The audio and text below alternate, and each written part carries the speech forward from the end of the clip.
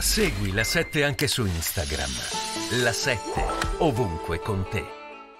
Di voti che sono andati alla Le Pen, e questo non è un dettaglio insomma, che si può far finta di non vedere. Ma sicuramente il voto di ieri ha determinato un terremoto, sarebbe eh, cecità non, no, non vedere, eh, soprattutto eh, quanto sia stato eh, cambiato il, il quadro e le, e le, retoriche siano state cambiate che eh, si erano generate con l'emergere di, di Macron eh, quando, quando, quando, quando, vinse a mani basse le presidenziali e conquistò la, una maggioranza amplissima nel Parlamento. Rispetto ad allora eh, l'immagine di, di, Macron è molto, ma molto, ma molto appannata. Eh, liquidare il risultato di ieri sotto l'insegno del populismo io credo che sia, eh, che sia sbagliato. Eh, intanto perché eh, eh, lo stesso Macron è un populista, ha vinto la volta scorsa distruggendo i partiti tradizionali, i partiti storici, svuotandoli e personalizzando moltissimo eh, il, il, voto. Eh, oggi paga, paga eh, una crisi che è profondissima. Io tenderei a dire è persino poco eh, quello che è successo in Francia se lo confrontiamo con la gravità della situazione, che non è solo determinata dalla guerra su cui tutta l'attenzione politica e mediatica è concentrata, ma la guerra è solo il baricentro di un, una serie di cerchi di crisi, c'è una crisi ecologica drammatica, lo, lo, lo vediamo in Italia con la siccità, c'è una crisi della democrazia.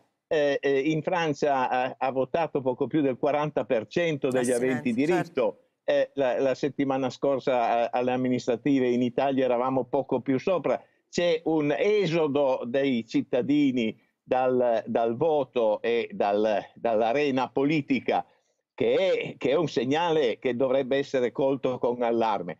Se la risposta è non preoccupiamoci perché gli esecutivi continueranno eh, come prima, eh, sulla, sulla, stessa linea, è suicida, è suicida. Certo che il sistema eh, costituzionale francese permette eh, al presidente di tirar dritto anche se eh, la maggioranza del suo popolo va da un'altra parte, ma eh, non aiuta certo, certo la democrazia.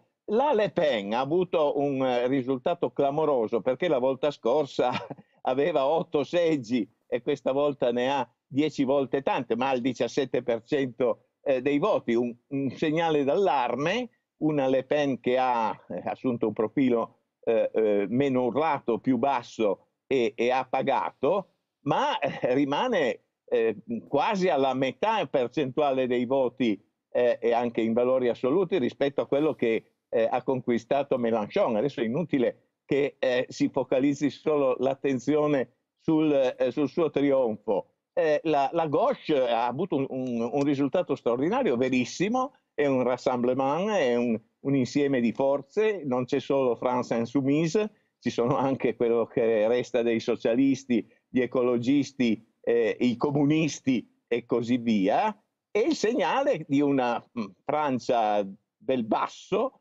eh, di una Francia sofferente, socialmente so- sofferente, che rialza la testa ed è eh. un segnale importante. Eh, L'Europa, sì. l'Europa ne, ne, esce indebolita, l'Europa si è indebolita da sola, lasciatemelo dire, non è il voto francese che eh, indebolisce l'Europa, l'Europa fin dall'inizio di questa crisi eh, ucraina eh, ha rinunciato a fare politica e si è accodata al, allo schieramento ad egemonia eh, statunitense, eh, quel viaggio piuttosto patetico dei tre a Kiev non ha giovato, Perché io credo, patetico? elettoralmente Perché a Macron patetico, e non è stato professore? un bel segnale di forza.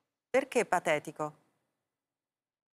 Triste, devo dire, sono andati per fare una fotografia, non sappiamo bene che cosa si siano detti, eh, non sappiamo bene che cosa abbiano promesso, che cosa abbiano negato, eh, poteva essere tranquillamente una videoconferenza come ce ne sono state eh. tante, mm. è stato un gesto, come dire, mediatico per dimostrare una solidarietà che era già stata ampiamente eh, eh, testimoniata con l'invio delle armi e come dire, quella fotografia in quel vagone, a mio avviso, è una fotografia triste mm. di tre figure piuttosto scialbe eh, dentro una crisi epocale, dentro una crisi che ha l'epicentro in Ucraina, ma eh, che, che, coinvolge eh, l'intero, l'intero Occidente, l'intero è mondo. Chiaro.